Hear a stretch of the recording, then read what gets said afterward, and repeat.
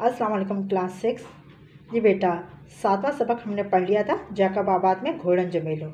आज हम उसका रिटर्न वर्क करेंगे। ठीक है बेटा? आप एस यूजल पहले आप इसका टाइटल पेज बनाएँगे। ठीक है? एक पे सफ़े पर उसका टाइटल पेज बना लीजिएगा फिर अगले सफ़े से उसका रिटर्न वर्क स्टार्ट होगा जो कि शुरुआत में आपको हम जैसे काम करते हैं वर्ड्स मीनिंग का वो हम काम करेंगे ठीक है? राइट साइड पे आप डेट लिखिएगा जिस तारीख को आप काम करेंगे उस तारीख की आप आ, उस दिन की आप डेट डाल लीजिएगा ठीक है? फिर आप कॉलम बनाएँगे अखर मायना फिर उसके बाद हम वर्ड्स मीनिंग यानी कि लफ्ज़ मायने का काम स्टार्ट कर देंगे। ठीक है? मैं तमाम अल्फाज इस चैप्टर के सिर्फ़ आठ वर्ड्स हैं, क्योंकि बेटा बहुत छोटा चैप्टर था, इसमें बस ये आठ वर्ड्स ही हैं डिफ़िकल्ट ठीक है? अब इसलिए ये मैं तमाम वर्ड्स को एक एक करके पढ़ देती हूँ, ताकि आपको लिखने में आसानी हो। पहला वर्ड है, का न का। कोई ना कोई। ठीक? नंबर टू है, राज। इसमें दो नुकते हैं वर्टिकली ठीक है? राज यानी कि हुकूमत। नंबर थ्री है जियत। जियत मतलब जैसा कि। ठीक? नंबर फोर है ठाणा खापोई बनने के बाद। ठीक? नंबर फाइव है सियारे, यानी कि सर्दियाँ। नंबर सिक्स डिसण वाले, देखने वाले। नंबर सेवन इन खा सिवाय इसके अलावा, नंबर एट दिखारिया दिखाए। ये आठ वर्ड्स मिलेंगे इसके। ठीक है बेटा, देखना।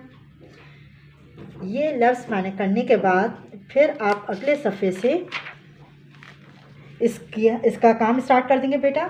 आपकी किताब के सफ़ा नंबर थर्टी नाइन ये थर्टी एट पर हमने ये पढ़ा था ना चैप्टर पूरा। ठीक है? इसके अगले सफ़े पर थर्टी नाइन पे इसकी मश्क दी हुई है। जो इसमें मश्क दी हुई है, हम वही करेंगे, ठीक है? सिर्फ़ दो सवाल जो आप दिए गए हैं, उसके बाद एक छोटी सी वर्ब की डेफिनेश वो एक्सरसाइज है। सही है? सॉरी इसकी हाँ वर्ब की। उसके बाद वर्ड्स ऑपोजिट्स हैं, वो करेंगे। बस इतना सा काम होगा इस चैप्टर का, बस। आप पहले मश्क अलिफ की हेडिंग साइड हेडिंग डालिए, सवाल जवाब। है चाहे तो पूरा ये सवाल लिखिए हेठे सवाल है, जब जवाब दियो, अगर ये नहीं लिखना चाह रहे तो ये भी सही है, सवाल जवाब है। ये आपने साइड हेडिंग डाली ठीक? उसके बाद पहला सवाल आप कॉपी करेंगे बुक से। जैकब आबाद छा जे करे मशहूर आहे। जैकब आबाद किस वजह से मशहूर है? ठीक है? पहला सवाल। अब जवाब है इसका, जैकब आबाद घोड़न जे मेले जे करे मशहूर आहे। जैकब आबाद घोड़ों के मेले की वजह से जी बेटा पहला सवाल था हमारा, जैकबाबाद छाजे कर मशहूर है जैकबाबाद किस वजह से मशहूर है? इसका आंसर है, जैकबाबाद घोड़न जे मेले जे करे मशहूर है। मतलब जैकबाबाद घोड़ों के मेले की वजह से मशहूर है। आप सिर्फ़ लफ्ज़ छा छाजे गए ये है ना छा, इसकी जगह आप लिखेंगे घोड़न जे मेले जे करे है? ये छा की जगह घोड़न जे मेले, फिर वही जे करे मशहूर है, ठीक? अब आइए दूसरे सवाल पर। क्वेश्चन नंबर टू है जैकबाबाद में घोड़न जो मेलो कहें शुरू करायो? जैकबाबाद में घोड़ों का मेला किसने शुरू करवाया? सही है? अब इसका आंसर है जैकबाबाद में घोड़न जो मेलो कहें, कह की जगह आप क्या लिखेंगे? ये मतलब किसने शुरू करवाया? कह की जगह कमिश्नर जॉन जैकब शुरू करायो हो। वही सवाल में पूरा लिखने लिखिएगा। सिर्फ़ लफ्ज़ कहें की जगह इसका नाम लिखेंगे उस बंदे का।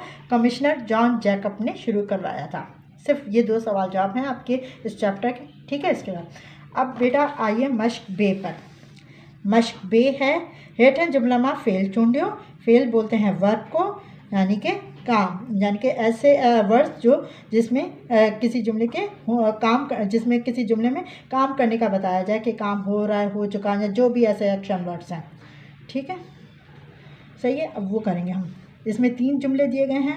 इसमें से हमें पिकआउट फेल करना है। ठीक? पहला है, घोड़न जो मेलो, जान जैकब शुरू करायो इसमें हमें वर्ब को पिकआउट करना है, यानी कि फेल को। अब ये पूरा शुरू करायो शुरू करायो क्या है? फेल है। कि घोड़ों का मेला, जॉन जैकब ने शुरू करवाया। नंबर टू है घड़ों खान न घुर्जे।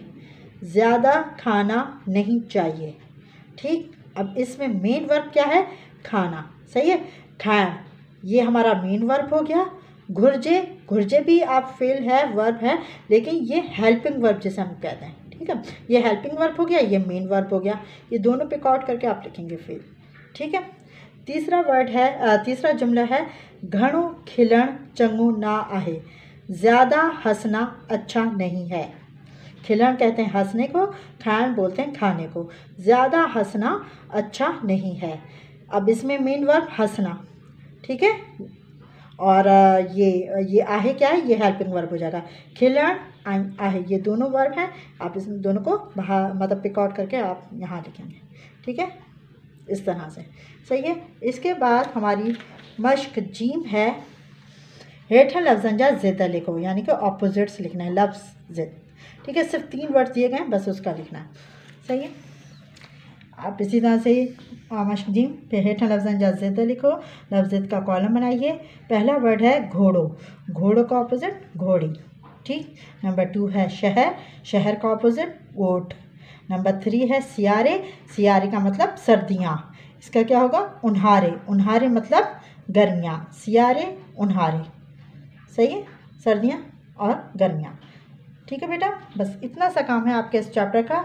उम्मीद करती हूँ कि जल्द ही आप अच्छी राइटिंग में अच्छे तरीके से ये काम कर लेंगे और फिर इन ताला आप अपनी कॉपी सेंड कर दीजिएगा अपने कंप्लीट वर्क के साथ ताकि हम इसको वक्त पर चेक कर सकें।